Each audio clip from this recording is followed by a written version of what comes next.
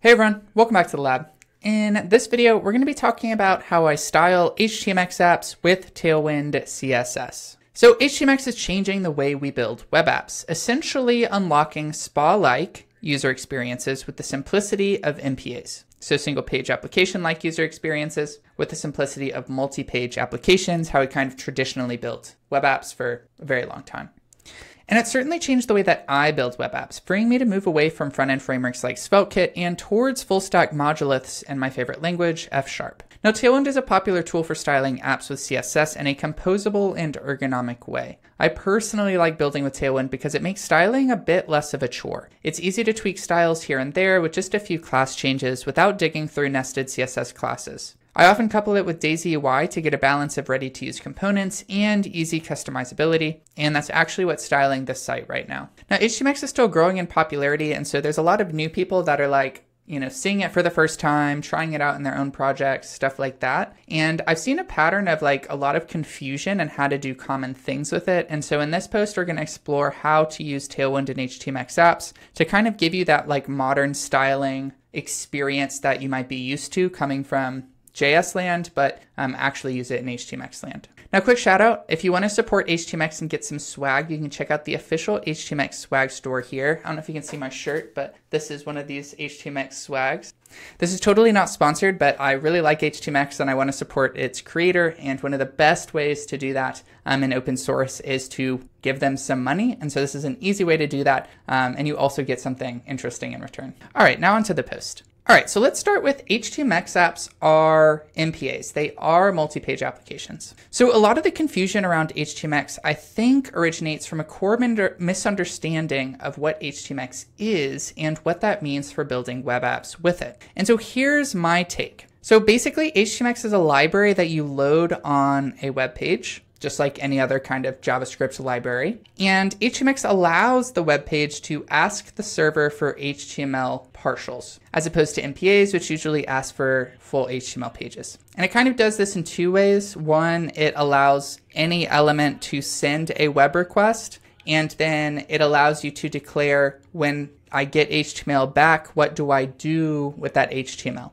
Um, so essentially, it's asking the server for HTML partials and then setting up what do you do with it. That's really what it's unlocking. And then on the server, it supports these requests. It supports HTMX by adding and modifying endpoints so they can return HTML partials. And so sometimes you add new endpoints that's like, oh, this is just for rendering a comment. Oftentimes, what you'll do is just modify existing endpoints. So, like, you know, here's my URL here. Um, I might modify it so that if it sees the target is comments, it's only going to send back the HTML for comments not re-render the entire page. And so again, this allows for the return of HTML partials as opposed to the full HTML pages that MPAs would usually return. And so put simply, most HTMX apps are really just MPAs with a bit of extra server endpoints and logic to enable sending HTML partials instead of the full HTML page. That's really all it is. MPAs with a few logic conditionals for like, oh, if the target is this, only send the target. And so if we can agree that HTMX are really just MPAs, then this means that we can use the same techniques for styling MPAs with CSS to style HTMX apps with CSS. Okay, styling MPAs with Tailwind. So we've established that HTMX apps are basically just MPAs, which means we can style HTMX apps with Tailwind in the same way we style MPAs with Tailwind. So now let's look at how we can style MPAs with Tailwind. Now, Tailwind is a bit more complicated than simply including a CSS file in your web page. Now, you do use Tailwind by simply including a CSS file on your web page, but typically you don't want to do this with vanilla Tailwind, the thing you get directly from the CDN, um, as the payloads are too large, on the order of megabytes. It's a very large surface area of potential styles because it's like basically building new versions of every style with various different um, variations. And so, like, you can do this um, it probably won't crash the web page, but like you probably don't want to do this. And so instead, it's recommended to use a Tailwind build step so that it prunes itself of all the unused styles to get the small, usually on the order of low kilobytes um, payload that it's famous for. Now, exactly how you set up this Tailwind build step largely depends on what technology you're using to build your app. And one of the big unlocks of HTMX and really just hypermedia in general um, is that it is backend agnostic. You can build it with basically any language you want. Any language can basically build HTML these days. A lot of great libraries for doing that, and HTMX is just an extension of HTML, um, so very easy to use that. What this does mean is that there are many different ways to use Tailwind, and there's many different ways for you know, apps to build themselves because it's really technology dependent. And so the specifics for each of these will be different. Now that said, using Tailwind outside of the JavaScript ecosystem generally follows a common pattern. If you're in the JS ecosystem, um, you probably have a lot of docs on this already, um, and it's all messed up in that build system that they have. But outside the JS ecosystem, generally it's honestly a little bit simpler, um, but it follows this common pattern. And so basically you'll create a Tailwind project in your repo, and then you'll set up a build step in whatever you know you're using to build your app that will run Tailwind CLI. You can find more about this in the official Tailwind docs. Um, pointing it at your source code files that contain the HTML and HTMX, and thus so that it can see the Tailwind classes that you're using so it knows that it should include those in the output. And then you just configure the output to be placed in a static resource folder that your app will serve, along with, you know, whatever your other static files are, might be images, might be CSS, etc. And then you just set up your web pages to reference the output Tailwind file. And so by doing this, you're you know allowing your Tailwind CSS to update based on the styles you're using and whatever technology you're using every time you build your app. It outputs these styles in a usable location, which your app can then pull into its web page when it needs it, and that's how you can style you know your web pages with Tailwind for a basic MPA. But this also works for um,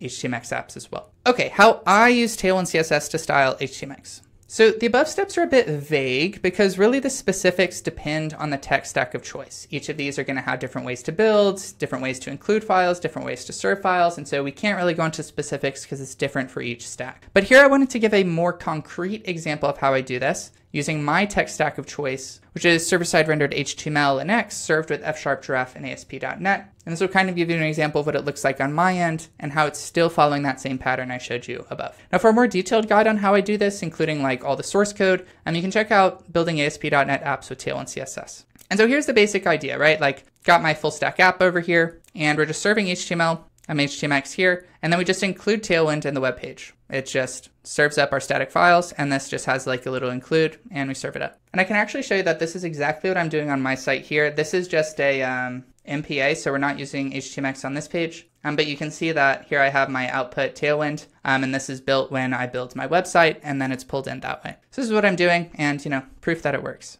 All right, and so here's how I like set up my project. Basically, I have my F Sharp app, which is just my like repo for my F Sharp, and it, includes my front end and back end code. Um, I basically write all my HTML in F Sharp by using HTML DSL Giraffe.view engine to create HTML in type safe manner. Um, and so I don't have any of these like you know HTML partials or whatever. But if you do, that's something to remember because you'll need to um, tell Tailwind CLI that. And then I just have a little project folder Tailwind CLI which is a node project with all my configurations for styles and included dependencies. And just to prove this, here's like my GitHub repo um, for my website. And so here's my source, and this has got like all my F Sharp stuff in here. And so this is really like we're inside my uh, F Sharp app. You can see I have my FS Proj and stuff like that. And then inside of this, I just have a little Tailwind guy, which is just a little node project um, that has all of its configurations and stuff. Like I have my, you know, Tailwind config with my styles and stuff like that. And so that's literally what I'm using for this website. And so I like to build my apps with containers because I find containers to be a 3S simple scalable system for building and deploying apps anywhere. It makes it very easy to get deterministic builds locally and remotely and also has nice features for doing build time configuration as we'll leverage here. And so here's kind of like an overview of how I'm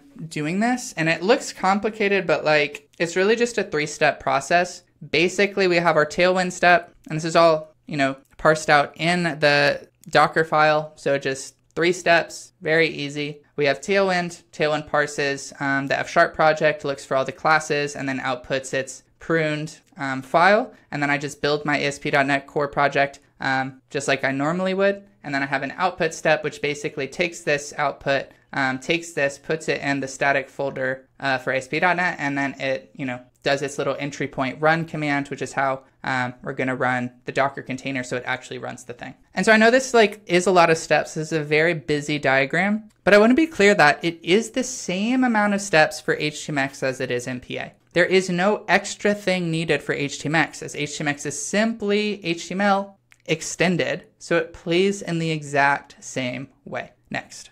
So this is basically how I'm building styling all my apps these days. I found it's brought the joy back to building web apps. I don't have to learn the latest framework or feature or deal with the latest, you know, breaking bug from some npm package. I can just build using technologies and techniques I like and I'm used to. Question for you is how are you styling your HTMX apps? I know there's like a lot of different ways to do this. really depends on the technology. So curious what kind of paradigm technique you're using for for your apps. If you like this post, you might also like what it's like to run HTMX in production, stories from experienced software engineers.